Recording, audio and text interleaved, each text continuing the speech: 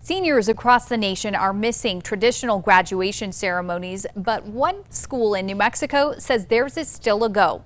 The Hobbs principal announced yesterday that the school would hold a graduation ceremony once the state gives them the okay to do so. They just haven't decided on a date yet. The school is planning for graduation dates in either June, July, or August.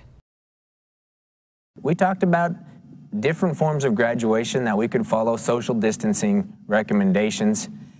And what we found out was our students have been social distancing for a long time and they would like a traditional graduation.